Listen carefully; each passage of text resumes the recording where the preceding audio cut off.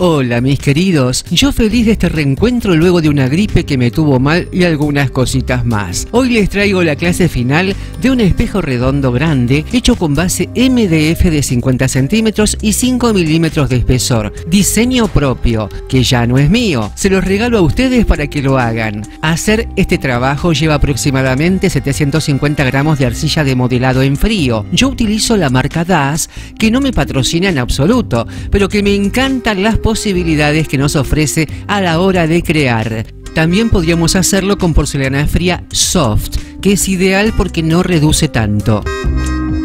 Como todo material tiene su forma de trabajarla y les enseñaré a hacer este precioso y original marco de espejo paso a paso. En la caja de información les dejo los detalles y enlace a la clase anterior donde enseño a hacer este diseño con moldes sencillos de fabricación casera y los materiales y herramientas. ¿Me acompañás? Dale.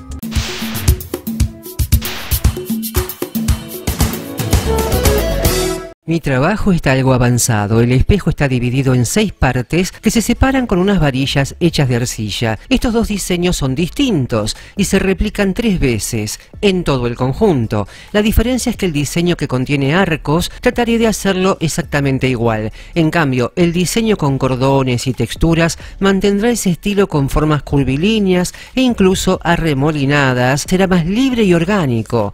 Te explicaré y verás qué método utilizo para hacer cada uno de estos dos diseños, cómo hago las varas de separación, el borde interno del espejo y el borde externo, y fundamentalmente qué herramientas utilizo para hacer un proyecto como este, que está lleno de detalles. Materiales y herramientas ya mismo. Este trabajo se puede hacer totalmente manual, pero para agilizar utilizo un extrusor eyector de repostería. Viene con varios discos intercambiables con diferentes formas. Permiten realizar distintos diseños, como ser pelo de muñecas, pasto, cordones y líneas prolijas. Y esas texturas que ves aquí. Se utiliza para fondant, porcelana fría, pastillaje, arcilla, etc.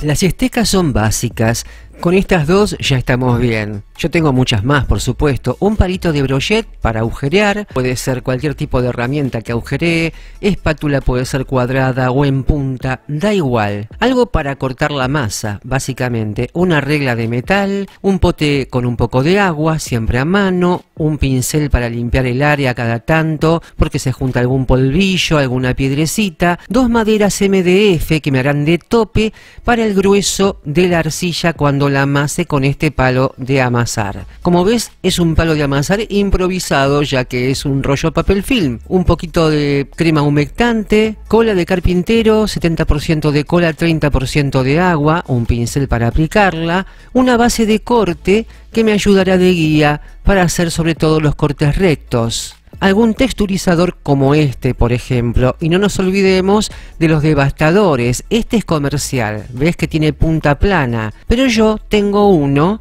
que lo hice en casa, con masilla epoxi artesano, el mango y un simple alambre galvanizado. Con esto podemos quitar material, ahuecar. ¿eh? No hace falta comprar nada, lo podemos hacer en casa. Incluso ahí ves que tengo uno que tiene de mango cinta, porque ni siquiera lo había terminado. Empezaré con el diseño de arcos y aquí vemos tres formas en arco diferentes. Las copio con un acetato y luego estas tres formas las pasaré a cartón para poder cortar estas formas en la arcilla. Es más práctico un cartón fino, no corrugado y con esto resuelvo el tema de los moldes para estas piezas. La última y más larga la dejé entera porque los largos no son parejos y así me permitirá ajustar mejor. Trabajaré con arcilla de secado al aire, en este caso pasta dash. Tomo la porción que voy a utilizar, el paquete lo cierro bien para que no se seque con el aire. Tendré un pote con agua siempre a mano, Sumerjo mis dedos en él y con los dedos humedecidos la amaso. Tiene que estar siempre humectada y la clave es utilizar la justa cantidad de agua. Si le coloco agua de más, la arcilla se deshace como un pez entre los dedos. Si le pongo poca agua, tal vez se resquebraje o se agriete. Es cuestión de probarla, hacer algo con ella para encontrarle el punto exacto. Trabajaré el marco del espejo, necesito varias tiras de un centímetro de ancho. Tomo pequeñas porciones de pasta, la humecto, amaso y aplasto con palo, utilizando estas maderas de 3 milímetros como guía para el grueso de la arcilla.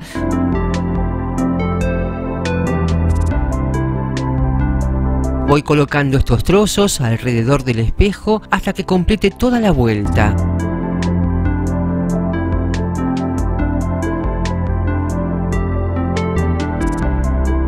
Cuando ya los tengo, pego con cola las piezas bien juntas. Y atención, que es muy importante, presiono suavemente la arcilla contra los bordes del espejo para que éste quede apenas un milímetro dentro de ella. Y así en principio iré colocando estas piezas alrededor de todo el espejo. Con una esteca mojada en agua trabajo las uniones para que se fundan entre sí. Suavizo con mis dedos humedecidos para quitar marcas y ayudar a lograr esta unión. Deseo que el marco no sea totalmente liso. Antes de texturizar, humedezco la masa con mis dedos mojados en agua puede ser cualquier tipo de texturizador, apoyándolo en varios sentidos para que no se note de qué dibujo se trata, pues mi idea es una textura arrugada y no que se note un dibujo en especial. Si la arcilla pierde un poco su ancho, no importa, porque tengo las guías del dibujo con lápiz.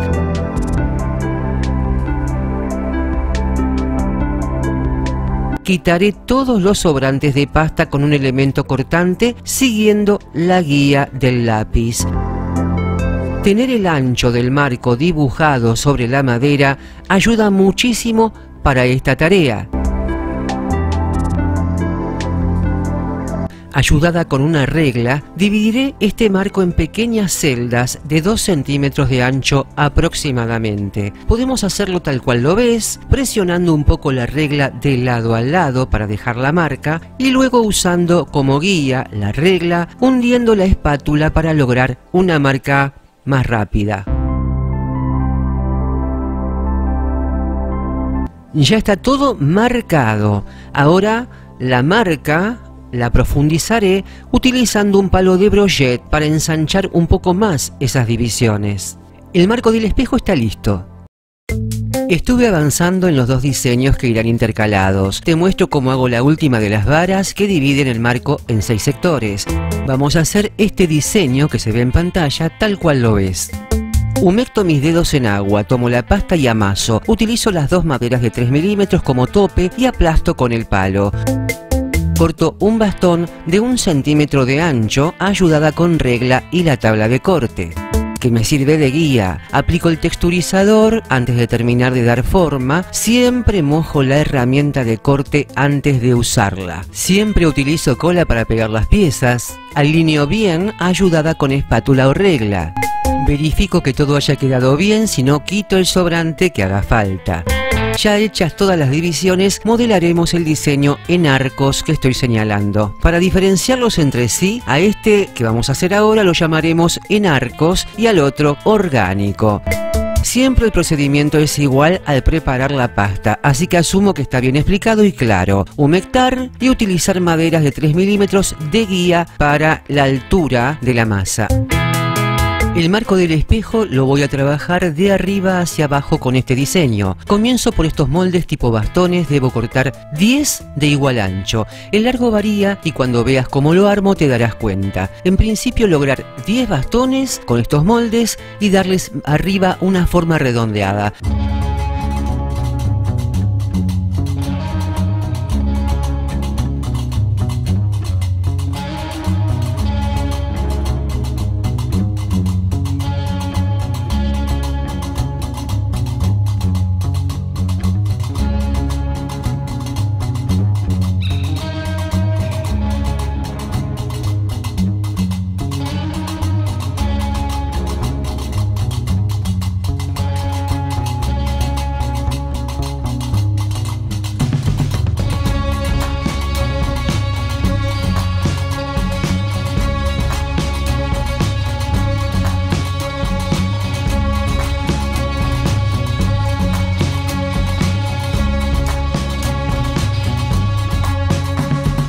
Luego pegarlos con cola y con la esteca de aplastar hacerles un surco central. Al colocarlos tengo en cuenta que voy en redondo, por lo tanto los bastones se van abriendo levemente en la base para lograr una curvatura, si no quedarían torcidos.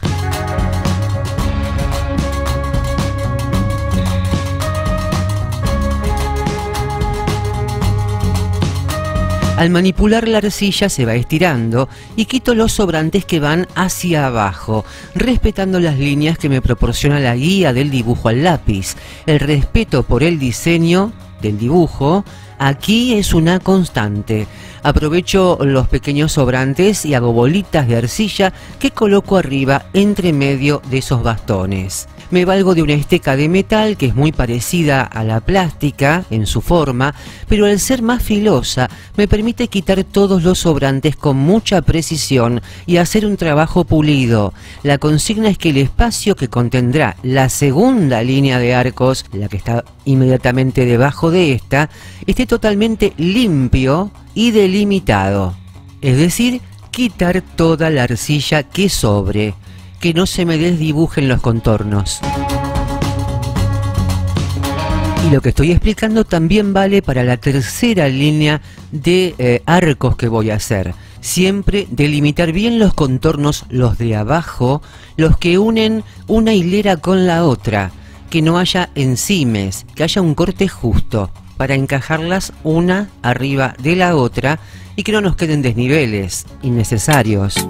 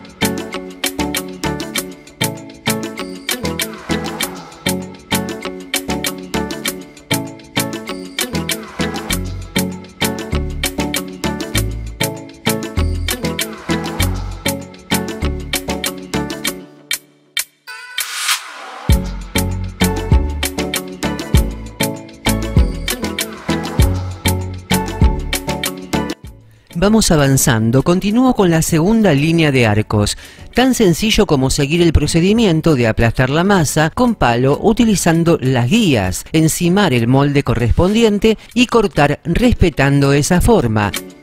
Suavizo siempre con dedos humectados en agua, sobre todo para redondear contornos de las piezas. Una vez que tengo todas estas piezas, las pego de igual manera que las anteriores con cola. Presiono un poquito para que encajen perfecto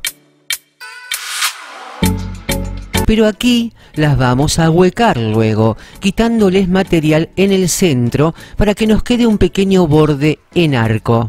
Utilizo esta esteca de aplastar para fijar el centro, ir ahuecando, llevando el material hacia abajo. Lo que sobre se va a quitar luego.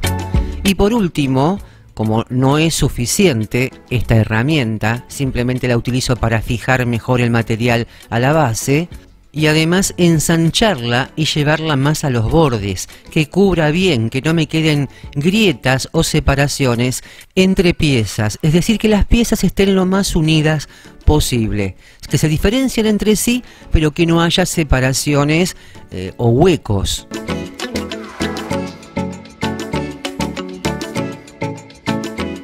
Con esta herramienta de punta, también puede ser un palito de brochet, marco mejor esos bordes que voy a resaltar, ¿sí?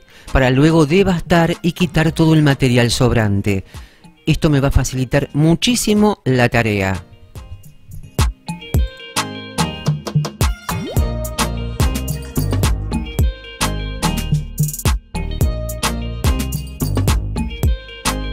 Una vez marcados los bordes de estos arcos, utilizo el devastador que te mostré al principio, que es una herramienta muy práctica, está hecho en casa, es un alambre doblado en redondo con un mango y con esto quito la arcilla sobrante arrastrándola hacia abajo y voy quitando, de esta manera ahueco, debo ahuecar hasta un punto que no se vea la madera con el cuidado de que esos bordes que sobresalen queden bien prolijos.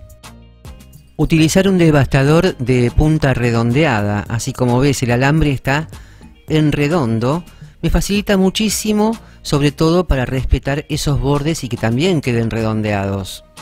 Aprovecho y también les voy dando forma con el devastador. Y para hacer esto la arcilla tiene que estar bastante humectada,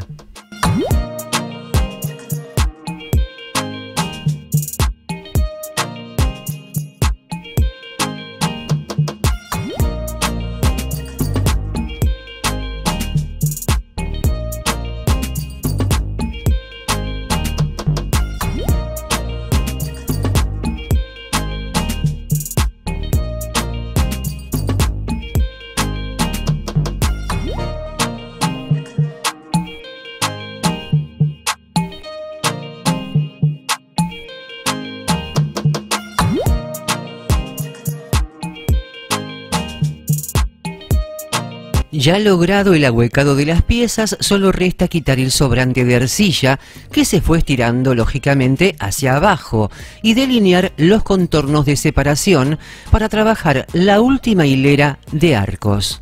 Es decir, se repite el mismo método. Quitamos con esta herramienta todo el sobrante de material. Y siempre respetando las líneas del dibujo al lápiz.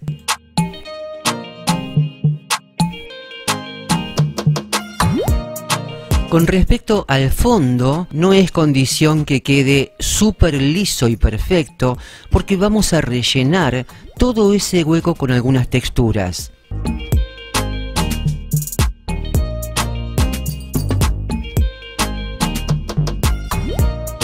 Y ya voy por la tercera línea de arcos con el tercer molde, que es muy sencillo. Es simplemente un arco que voy a ir pegando en esos huecos. Mismo sistema, los voy aplastando suavemente, los voy estirando para que ocupen todo el espacio libre.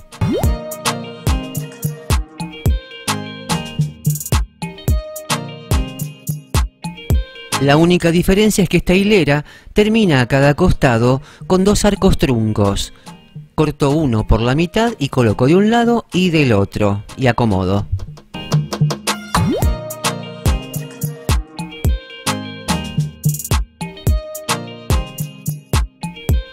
Repito la operación ahuecando estas piezas, pero no lo voy a hacer como las anteriores. Las anteriores están muy ahuecadas.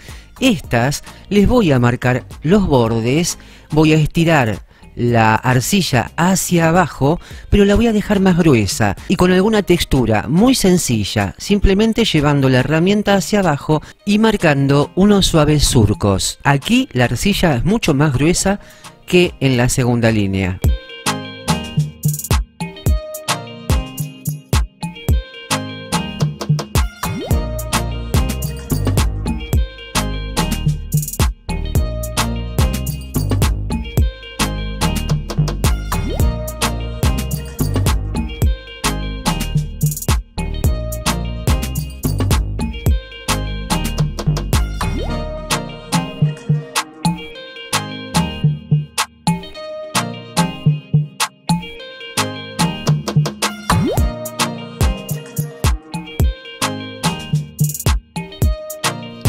Vez que logré la textura que me gusta, quito los sobrantes de la arcilla con la espátula, bien al ras del dibujo que me delimita justo el borde de este marco.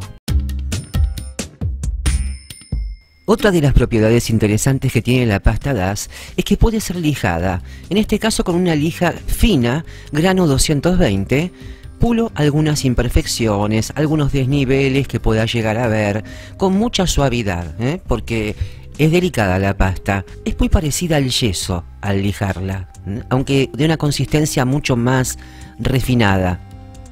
Incluso si estoy lijando y veo que aparece algún desnivel o que hay que rellenar más en algún huequito, ningún problema. Tomo un poquito de pasta, mojo mis dedos en agua, la froto contra ese pequeño agujerito que puede llegar a ver, alguna grietita, y ahí todo se nivela perfectamente. Luego un poquito de lija y el trabajo queda muy pulido así.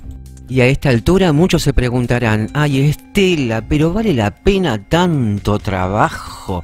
Y yo te digo que sí, sí, si lo estoy haciendo es porque para mí vale la pena, porque es un diseño propio. Por más que vos eh, eh, tomes la idea de aquí, no te va a salir exactamente igual. Es un diseño de luciérnaga, por lo tanto tiene ese valor agregado. No vas a encontrar nada igual, igual en otro lado. Y suponiendo que el diseño te sale, ojalá, exactamente igual o mejor, bien por vos, pero van a ser muy pocos, muy pocos modelos de estos que va a haber en el mundo. Es así de claro, y eso es lo que le aporta valor a un trabajo, a una obra, a la dedicación que uno le pone, al esmero, a la creatividad. Para finalizar con este diseño que se repite tres veces en todo el marco, utilizo extrusor eyector de repostería, muy parecido a una jeringa, que viene con varias boquillas de acero inoxidable. Utilizaré esta que es parecida a un rallador en miniatura. Con ella puedo hacer hilitos muy finos de arcilla o porcelana fría. Debe quedar muy suave la arcilla. Para esto la humecto como siempre, mojando mis dedos en agua, la amaso y por último me coloco en las manos un poco de crema humectante y sigo amasando. Hago un churrito y coloco la arcilla dentro del extrusor. De esta manera la arcilla no se quebrará al salir por esos pequeños agujeritos. Lo que sigue es extremadamente simple. Colocar cola en las zonas donde quiero esas texturas, tomar el extrusor, ir apretando de a poco, quitar esos hilitos, ir acomodándolos dentro de esas cavidades. Así como lo ves.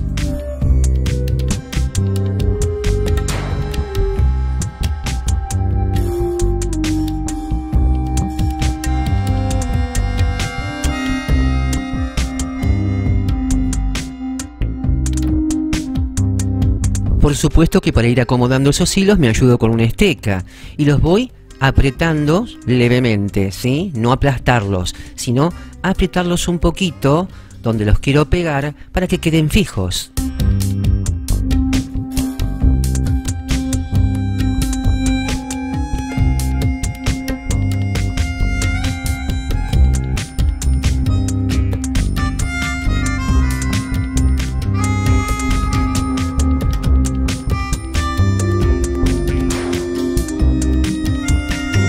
Y ya estamos terminando esta primera parte que es mucho más pautada que la que sigue. Queda una textura muy bonita y muy fácil de hacer. En el siguiente bloque haremos un diseño mucho más libre aprovechando al máximo el extrusor. Si bien boceté el diseño orgánico al lápiz sobre la madera, este será mucho más libre. Tomaré en principio como guía las líneas curvas más gruesas, las que he dibujado. Los extrusores eyectores vienen con varias boquillas cuadradas, redondas, más chicas, más grandes, triangulares. Te estoy mostrando solo algunas que podrían servirme para este diseño en particular. Utilizaré esta redonda, la más grande. Y como empezaré por la parte más gruesa, esta es la ideal y de allí para abajo la que quiera. Partimos desde esta boquilla gruesa para marcar contornos principales y luego ir rellenando como más nos guste. No voy a ser reiterativa en cómo se prepara la arcilla para extrusor, ya lo hemos visto en el bloque anterior, así que avanzaré rápido dando algunas indicaciones indispensables a modo de guía. Todo pedacito de arcilla que esté sobrando por allí, Permanentemente la voy guardando en el extrusor para que no pierda humedad. Ya colocando la cola de carpintero voy marcando con la misma cola las líneas principales sobre las que trabajaré. A pesar de que preparé bastante la masa, se ve un poquito agrietada, ningún problema, mojo mis manos en agua y muy suavemente la voy acariciando para ir suavizando toda su superficie. Una vez que la consigo así, está lista para colocar. Y no es un decir y nada más, lo explico porque se repite en todo lo que haga, tratando de darle a la arcilla siempre un aspecto terso, lo más terso que pueda. Tal vez no llegue a cubrir todo el largo con una sola tira. Entonces, ¿qué hago? La corto, pero la corto en chanfle, que siempre la tira quede en punta en las terminaciones y empalmo con la siguiente, siempre en punta. Aquí, por ejemplo, me alcanzaba toda la tira, sin embargo mi decisión fue empalmar porque me gustaba. Estéticamente me gustaba cómo quedaba. Incluso la tira por momentos puede ser más gorda, por momentos puede ser más angosta. Es un trabajo hermoso porque es escucharse interiormente y dejar fluir lo que salga, lo que se te ocurra en ese momento, en un continuo. Y así haciéndola en tramitos resulta mucho más práctico, mucho más fácil porque la vamos acomodando. Mojo mis dedos en agua, los coloco en modo pellizco mis dedos, ¿sí? Para ir acomodando la masa. Si es que me queda un poco torcida, puedo utilizar la esteca para redondearla mejor también, hasta lograr que esas curvas queden como a mí me gusten. Este tramo es largo y no me alcanzaría este cordón. Te mostraré cómo hago para hacerlo llegar. Ubico mis dedos en posición de pellizco, así como ves en la foto, y haciendo una leve presión sobre la arcilla, voy estirándola para que se afine y llegue hasta donde quiera. Repito que siempre hay que humectar los dedos antes. Este método que estoy utilizando es una manera de hacerlo. Te lo muestro porque quiero que veas cómo lo trabajo. Pero si no te sale así, no la podés estirar, haces otra tira, la amasás y luego la colocas en el largo que corresponda. Y como ves de esta manera la hice llegar perfectamente casi hasta el final. Y siempre la punta, hago un chanfle con una herramienta de corte y lo termino siempre en punta. Ya he explicado lo indispensable, verás cómo voy rellenando los espacios, cómo alterno las boquillas para lograr diversos grosores y cómo agrego a este diseño algunas bolitas de arcilla. Lo fundamental está explicado, te invito a ver el proceso.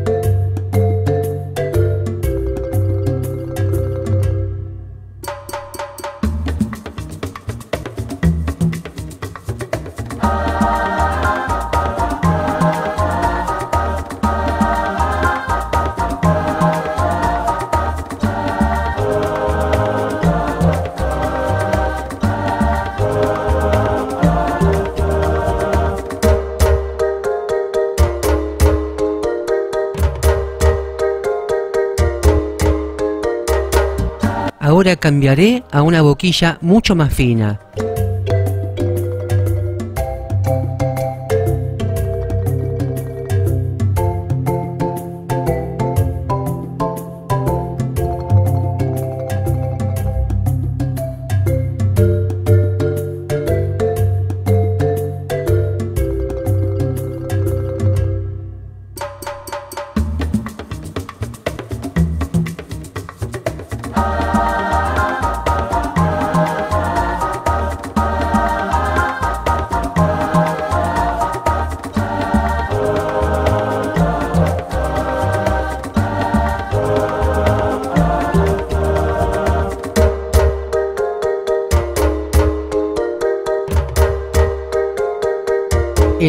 Punto me di cuenta de que necesitaba un fondo liso de arcilla, porque los hilitos, tan finos y cada vez más finos, hacían entrever la madera. Aplasto con palo la arcilla y voy tomando de a trozos, ayudada con la esteca de aplastar, para rellenar los fondos. De esta manera me parecía más estético el acabado. Esto ocurre porque voy improvisando sobre la marcha. Me dedicaré a esto primero para luego continuar con las texturas que quiero agregarle. Si coloco, por ejemplo, hilitos pegados uno al lado del otro, no tengo que hacer esto, porque al estar las piezas unidas, muy juntas entre sí, no permiten ver la madera. Pero si deseo hacer, por ejemplo, un enmarañado de hilos, siempre por algún lado se vería el fondo de la madera. Entonces, esto de tapar todo el fondo lo aplico según el caso, según lo que vaya a poner arriba.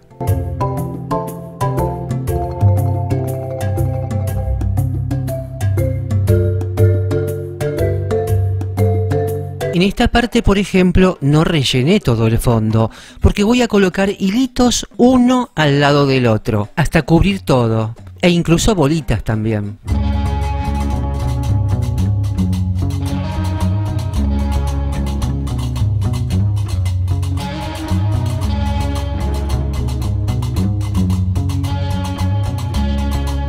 Cambié a una boquilla que tiene como una forma de estría, por lo tanto, esta tira puedo ir retorciéndola dándole un efecto cordón, como se ve.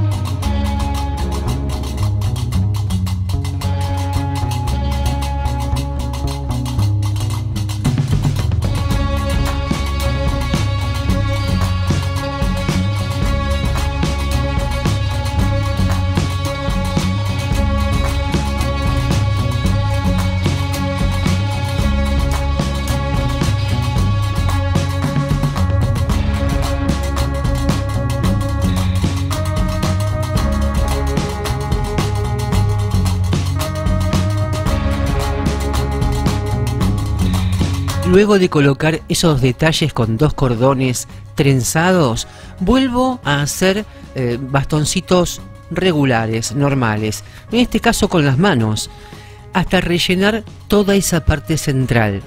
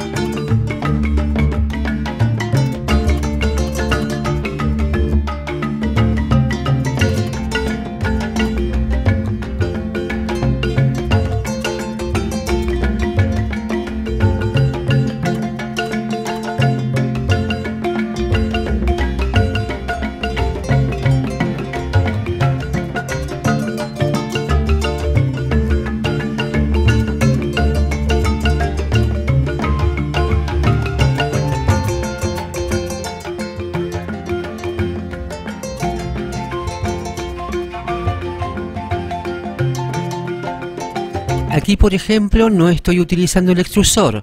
Voy a rellenar una parte de esas formas arqueadas con tiritas muy finitas entrecruzadas como si fuesen raíces que se van encimando.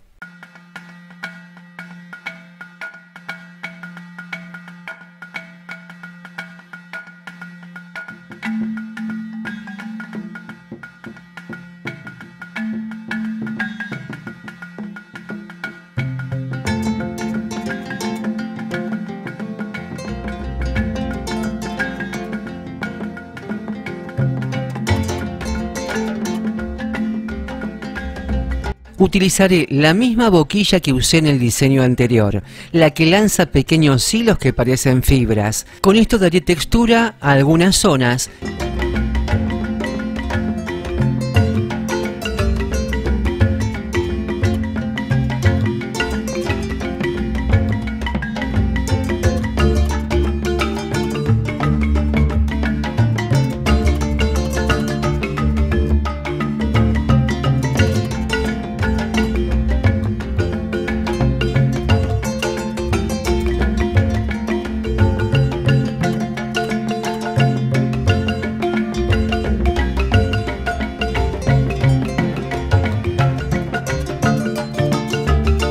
lo que me falte lo rellenaré con unas pequeñas semillas, hechas con arcilla, por supuesto. Y no está de más reiterar que antes de colocar cualquier pieza, primero va la cola, para que esto pegue bien.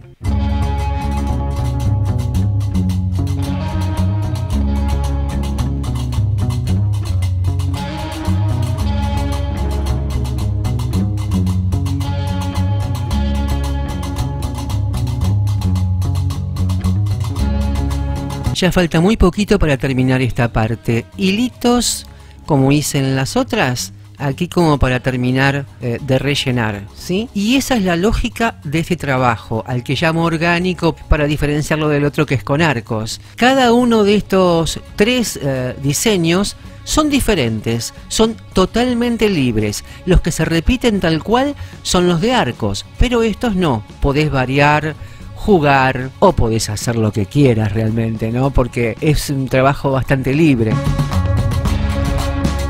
Mostré el proceso de este en particular a manera de ejemplo o a manera de guía. Vos podés variar las ondas, hacer muy libremente.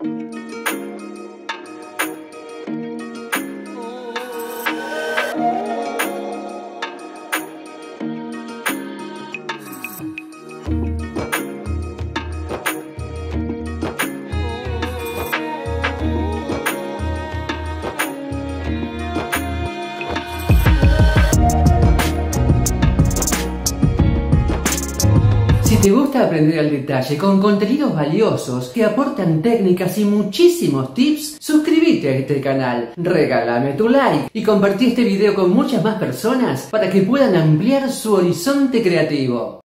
Y ahora sí te muestro rapidito otro de los segmentos a los que llamo orgánicos. Utilizo diferentes boquillas, pero el procedimiento es el mismo. Lo que cambia es la disposición de las piezas, pero siempre manteniendo un mismo estilo en el diseño. Te lo quería mostrar para que veas que es levemente distinto, pero manteniendo el mismo estilo.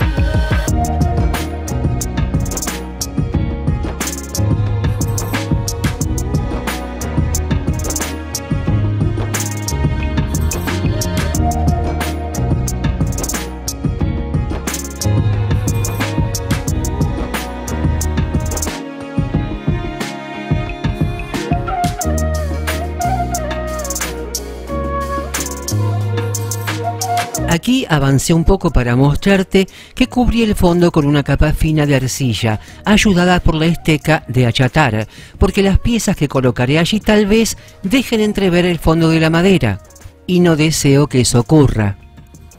Y te podrás llegar a preguntar, pero Estela, ¿qué importa? Si después lo vas a pintar. Sí, lo voy a pintar, pero es mucho más fácil de pintar porque absorbe mucho más rápido la pintura, la arcilla, que pintar sobre la madera. Va a costar mucho más cubrir luego todo eso porque todavía no sé de qué color lo voy a pintar. Lo puedo pintar de blanco como lo puedo pintar negro y darle algún efecto.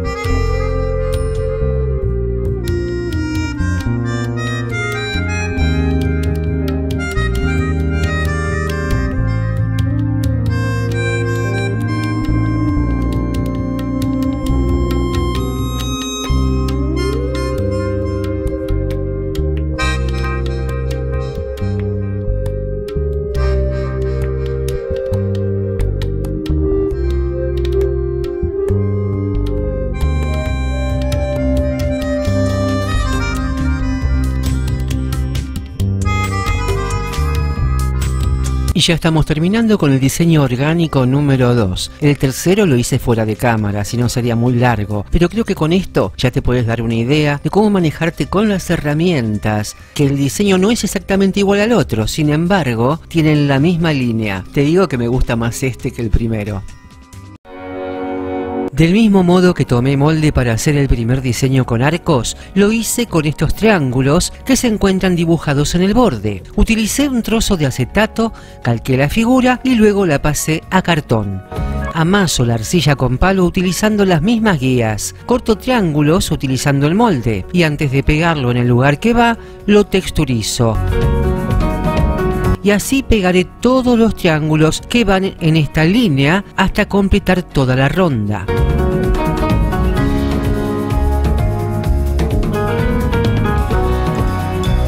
Para la segunda ronda de triángulos utilizo la masa más fina y sin texturizar. El grueso de la pasta lo calculo a ojo. Corto los triángulos y los pego, tratando de no dejar aberturas, que parezca un todo.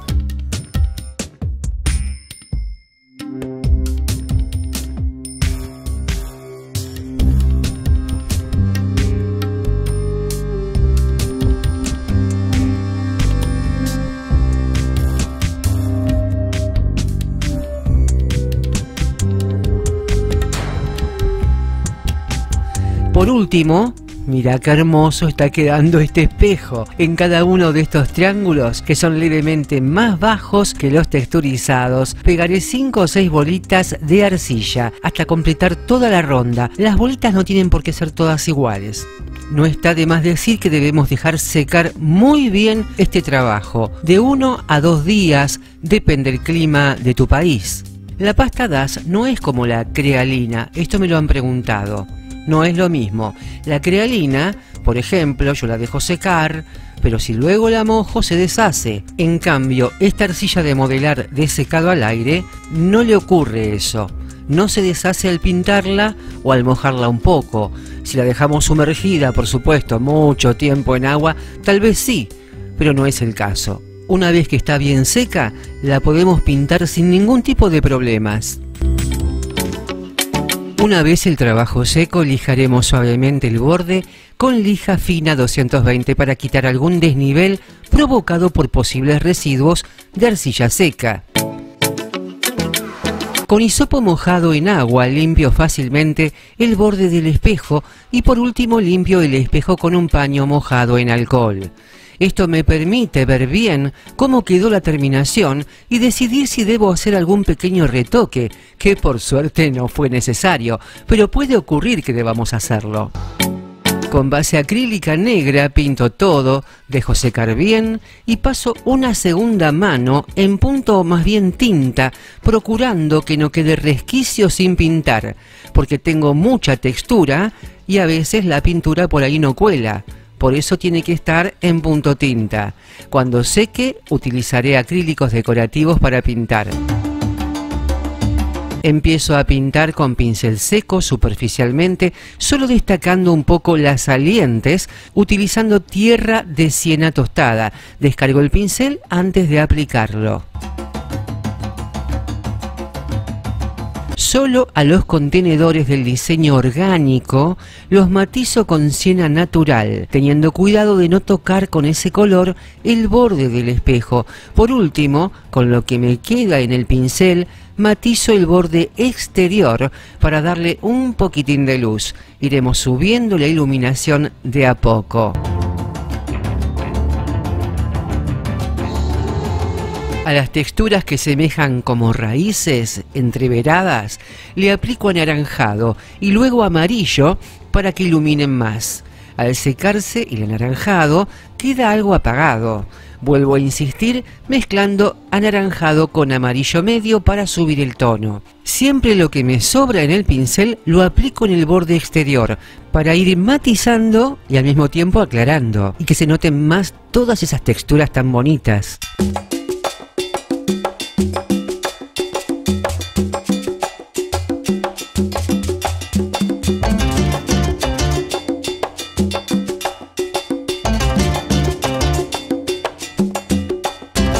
En el diseño con arcos enfatizo los naranjas y amarillos solo en ese relleno de raíces. Todo lo demás queda en un tono más eh, amarronado y oscuro con leves toques de amarillo para resaltar los relieves. En ningún momento utilizo blanco para iluminar. Es decir, el color más claro de esta paleta que estoy utilizando es el amarillo medio. Y luego le daremos un poquito de luz con otra cosa, pero no con blanco. Como te explicaba antes, tengo el pincel un poco cargado de amarillo y aprovecho ese color que me queda en el pincel para repasar en los bordes exteriores de este marco. Y así haré con todos los colores. Es una forma de no desperdiciar pintura. Ese poquito que me queda es suficiente para darle un matiz a todo el borde. Y así repito la operación cada vez que me queda el pincel apenas cargado de pintura según el color que esté usando. Entonces ese borde queda con diferentes matices. Enfatizo los arcos con un poquito más de tierra de siena tostada, esta vez un poquito más aguado. Lo que me queda en el pincel lo descargo en el borde exterior para dar más matices. Nótese que en las zonas donde apliqué amarillo medio hay tonos verdosos muy sutiles y hermosos. A estas zonas unos toques de cobre iridiscente sin exagerar mucho.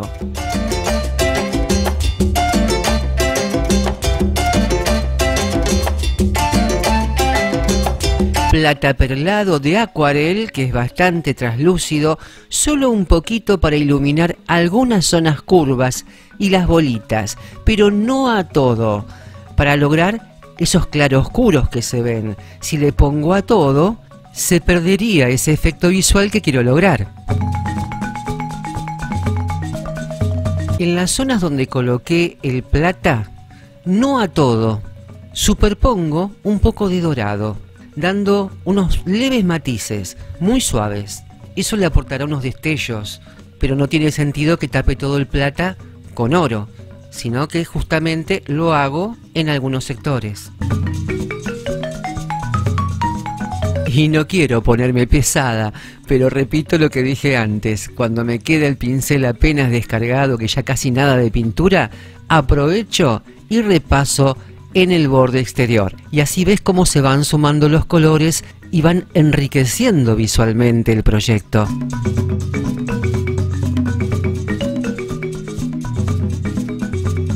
Espero al día siguiente y con luz de día observo que el proyecto le falta más iluminación.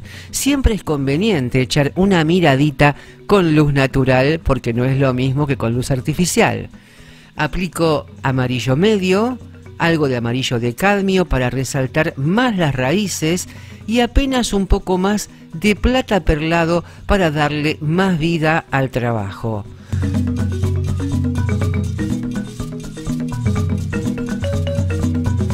Y no es que sea obsesiva, no, no, no, sí lo soy.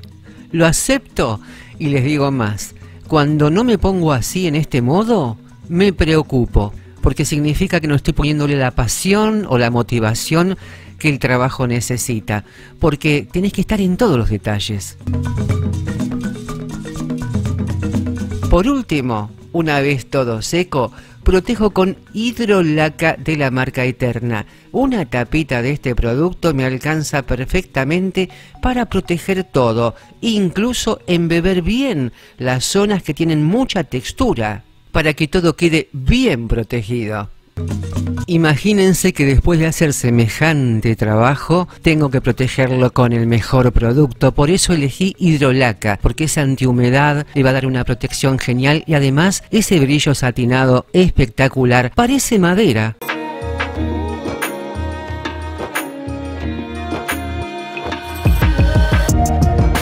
Imposible tener un espejo así sin gastar un dineral y podemos hacerlo con nuestras propias manos. Esto es tan solo una idea. Podemos elegir hacerlo todo en arcos o todo en forma libre y el resultado será un espejo de diseño único, imponente, sofisticado y elegante que se lucirá muchísimo en el ambiente que decidas ponerlo. Si te gustó, déjame tu comentario y si es la primera vez que ves una de mis clases y te ha gustado, te invito a suscribirte al canal y dar ese like tan necesario para que el video llegue a más personas. Los abrazo con amor y será hasta la próxima.